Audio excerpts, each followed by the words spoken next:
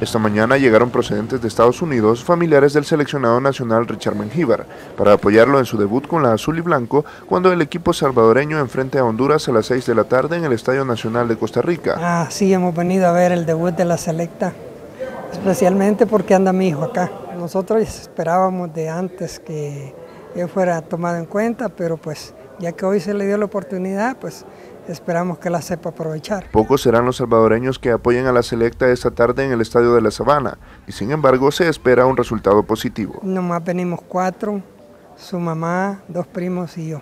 No, pues no esperemos lo, lo que esperamos que salgan triunfantes y el marcador pues no importa cómo sea. Informó para la prensa gráfica.com Josué Fernández.